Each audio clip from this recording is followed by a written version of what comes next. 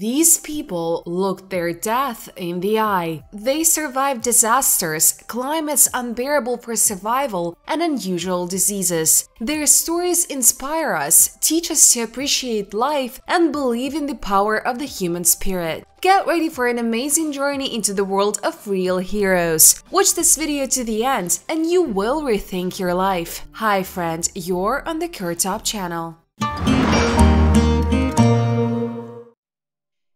Jane Lowe, Baby Jessica Jane Lowe, known as Baby Jessica, became the center of media attention in October 1987 when the 18-month-old girl fell into a narrow well in Texas. The incident turned into a real drama in front of the whole world. Television channels broadcast the rescue operation throughout the 58 hours of her rescue. The well, almost 7 meters deep and only 20 centimeters in diameter, turned out to be a death trap for the baby. Rescuers worked through various strategies to try to free Jane safely. The story ended with a happy ending. Jane was successfully rescued and taken to the hospital. This event showed not only the professionalism of the rescuers, but also the unity of people who prayed and worried for the fate of the child. Today, Jane Lowe lives an ordinary life, but her story remains one of the most memorable in the US media history. Unusual Tokyo resident in 2006, an unusual discovery occurred in Tokyo, which shocked both the local population and the international community. In one of the city's apartments, a man discovered that strange things were happening in his house. Food was disappearing and things were changing their location. But the most amazing thing was that all the doors and windows always remained closed. After installing a video surveillance system, the men discovered something surprising. A certain woman came out of a large upper closet and used his food and things when the owner was not at home. It turned out that she had been living in this closet for several years. When detained, the woman explained that she did not have a permanent place of residence and decided to settle in the closet when the apartment seemed empty. She carefully hid when the owner came home and came out when he was not there. Lykov family the Lykov family has become a symbol of perseverance and survival in extreme conditions. Over many years of living in a secluded part of Siberia, they have adapted to a life almost completely cut off from the outside world. Returning to the distant 1930s, the Lykovs, excluding the influence of the outside world and its problems, decided to become hermits in the deep taiga. Over the years, their hermit life became a legend. They compensated for the lack of modern technologies, medicines, and conveniences of civilization with the ability to survive relying on natural resources and age-old knowledge. For decades, they lived in harmony with nature, demonstrating amazing adaptability. The exceptional survival of the Lika family in the depth of the taiga is a symbol of human resilience and proof that even in the most difficult conditions, person is able to preserve humanity and the spirit of family. 33 miners from Chile. The year 2010 went down in the history of Chile not only as a year of terrible tragedy, but also as a time of amazing endurance, solidarity, and courage. On August 5th, a collapse occurred in the San Jose copper gold mine, cutting off the exit 33 miners. At a depth of 688 meters in complete darkness, with limited supplies of food and water, these people forced to fight for survival. The first 17 days after the collapse were the hardest. On the surface, no one knew whether the miners survived or not. However, below, despite extremely limited resources, the miners managed to remain hopeful and cooperate for the common good. They distributed among themselves the remaining food, which barely lasted for several days, so that everyone could get at least a small portion. When rescuers managed to drill a hole to the blocked miners and establish communication, the world breathed a sigh of relief. From now on, food and water and medical supplies were delivered to the miners through this well. The entire rescue process lasted 69 days and required a lot of technical innovation. This operation became a real miracle of engineering, as well as an example of an unbending will to live. When the last of the miners was brought to the surface, it was a moment of national unity for Chile and an inspiring event for the world. The triumph of the human spirit over the difficulties and tribulations of life. The 2000 2010 San Jose mine event reminded the world of the value of every human life and the need to remain hopeful and believe in the best even in the most critical situations.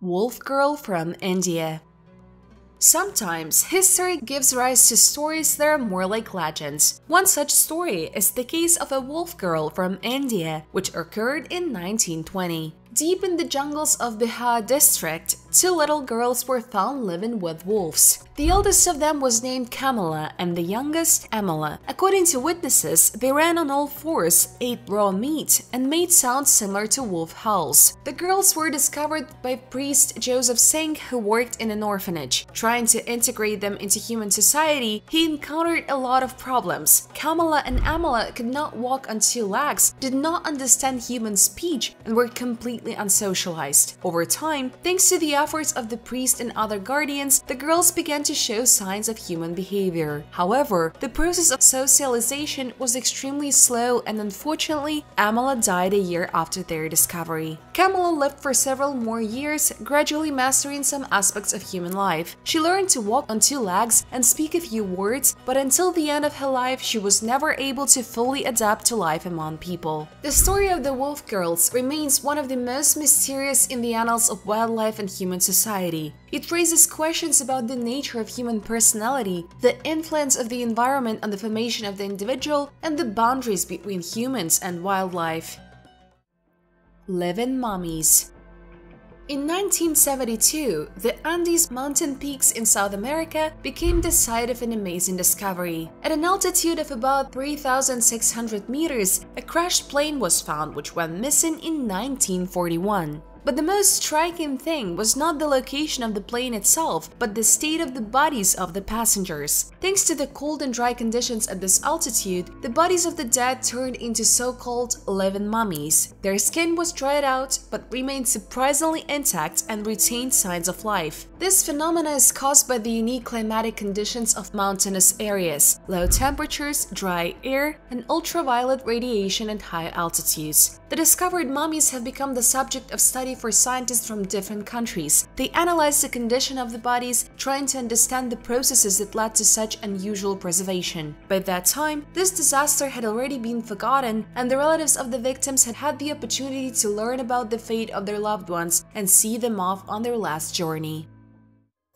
500 Days in a Cave Spanish speleologist Beatriz Flamini volunteered to spend 500 days 70 meters deep in a cave and was surprised at how quickly time flew by. She began her experiment at the age of 48 on November 20, 2021 and managed to celebrate two birthdays underground. Her days were filled with physical training, creativity, and reading. Flamini read 60 books and drank out about a thousand liters of water. At the same time, she believes that she is stuck in time. It to her that the world stopped at the very moment when she went down into the cave and after that nothing happened. But we know that over the past two years, the world has changed significantly. Her days were sometimes darkened when the cave became infested with flies, but the team that supervised her on the surface lifted her spirits with treats like fresh avocados, eggs, and new clothes. Despite her loneliness, Flamini maintained spiritual balance, being aware of her feelings and avoiding panic. On the surface, friends, a delicious dinner dinner and a long-awaited shower await her.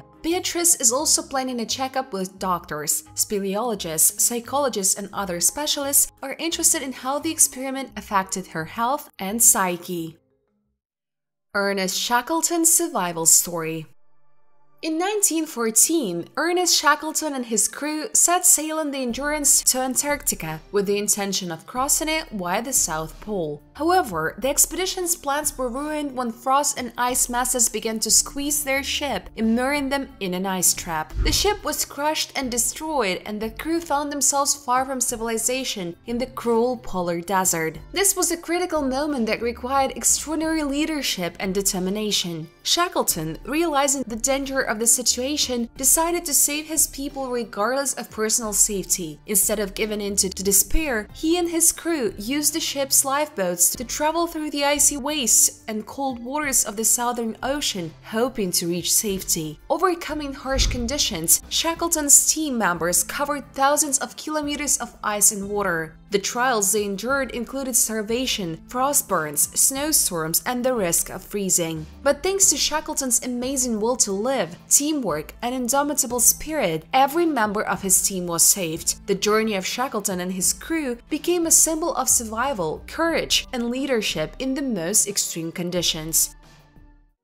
Boy in a Bubble there are stories in the world of medicine that make us think about human resilience, courage, and the endless pursuit of life. One such story is the life of David Vetter, a boy who became known to the world as the boy in the bubble. David was born on September 21, 1971, with a severe immune system disorder known as CID, severe combined immunodeficiency. As a result of this disease, his body was unable to resist infections. Any disease, even a cold, could be fatal for him. To protect David from the outside world and potential infections, doctors created a special sterile bubble, an isolated room where the boy could live without contact with the outside world. Everything that came into his bubble underwent strict sterilization. For most people, the idea of living in complete isolation sounds like a nightmare, but for David, it was the only way to survive. Despite his isolation, he was an inquisitive, educated, and cheerful boy. His family, doctors, and teachers interacted with him through special gloves and screens, providing him with education and social interaction. However, his isolation left its mark on David's psychological state. He experienced loneliness, stress, and depression, dreaming of one day leaving his bubble and living a full life. In 1984, at the age of 12, David left the bubble due to a medical procedure to treat his condition. Unfortunately, the procedure did not bring the expected results, and a few months later, David passed away.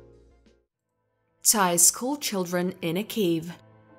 The summer of 2018 will be remembered by the world as one of the most intense and touching rescue operations. On June 23, a group of 12 boys and their soccer coach went on an excursion to Tham Luang Cave in Thailand. An unexpected flood caused by rainfall blocked their exit and the trap slammed shut. The first days in the cave were spent waiting for the water to go away and for them to get out on their own. But the water did not go away and food supplies were quickly running out. The boys and coach were forced to drink water dripping from the ceiling and wait for help. The rescue operation became a real challenge. Due to the complexity of the route, narrow corridors, and rapidly changing water levels, divers had to overcome numerous obstacles. Volunteers and specialists from all over the world arrived to help, creating a real headquarters for saving children. The operation was complicated by the fact that many of the boys did not know how to swim, let alone dive. However, thanks to the efforts and professionalism of the divers, as well as the unbending will to live of the boys themselves, the rescuers managed to rescue several people every day. Unfortunately, not everything went smoothly. 38-year-old Thai prisoner war Saman Kunan died after running out of oxygen during the preparatory operation. But despite all the difficulties, on July 10th, all 12 boys and their coach were safely brought to the surface. They spent 17 days trapped, relying on fortitude and hope for rescue.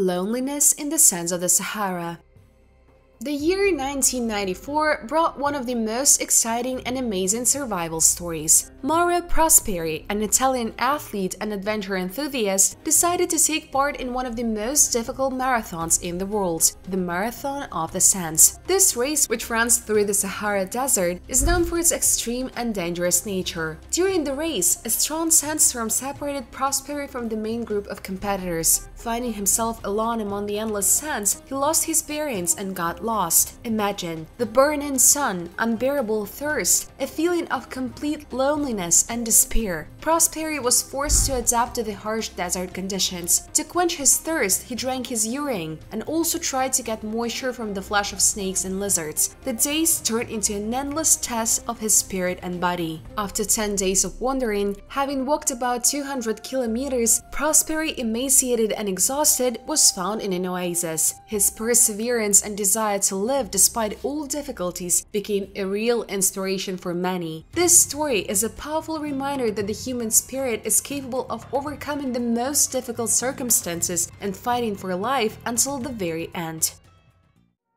Julian Koepcke 1971. The plane, flying from Lima to Pucallpa, crashed due to a lightning strike in the dense jungle of Peru. There were 92 passengers on board, but only one of them survived 17 year old Julianne Koepcke. The plane disintegrated at high altitude, and Julianne fell huddled in her row of seats. When she came to her senses, she was surrounded by wild thickets, and it began to rain and thunder. With a small wound on her arm and a broken collarbone, she began her journey in hopes of finding finding help. Lucky by nature and with a basic knowledge of the jungle, thanks to her biology parents, Julianne decided to follow the river downstream, believing it would lead her to the people. During her 11 days in the jungle, she faced many dangers wild animals, hunger, river currents, and infections. However, her determination and instincts helped her move forward. Eating only fruit and water from the river, Julianne continued on her way. On the 11th day, when hope had almost abandoned her, she discovered a boat of the shore and a hut nearby. The jungle residents found her and provided first aid, after which they organized her evacuation. Koepcke later moved to Germany where she fully recovered from her injuries. She studied biology at the University of Kiel and graduated in 1980. Koepcke married in 1989 and became director of a research station in the forests of Peru in 2000 after the death of her father, who previously held this position. These stories show what a person is capable of when faced with danger and needs faith and hope to survive. These people remind us of the value of life and how important it is not to lose faith even in the most difficult circumstances. Thank you for watching and remember that miracles happen every day. Subscribe to our channel so you don't miss new stories and share this video with your friends. Thanks for your views. Bye everyone!